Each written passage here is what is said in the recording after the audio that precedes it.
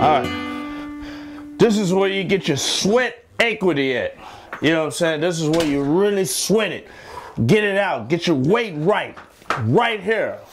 We at 150 degrees or more. Right here. This is where we get it done at. Come on. Sit.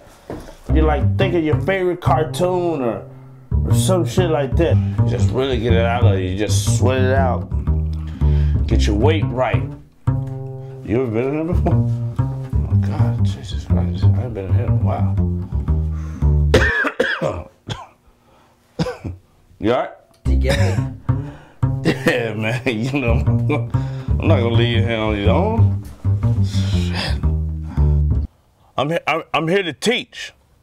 That's what I'm here for. I'm here to teach. You know, I would have stayed in there. You know, but I don't have to fight. If I had to fight, I'd stay in there. I don't have fight though. You know, it's gonna get hot in the octagon. This is nothing. You think this hot? Oh, this ain't hot. No. Uh-uh. Wait till you got a guy's nut sacks in your face with them little tight pants. A little six pack. Yeah, That's hot. Times have changed. You know? Somebody trying to put you in a centipede and they wrap your legs around their head and they doing a 69, but you're not getting nothing out of it? That's hot.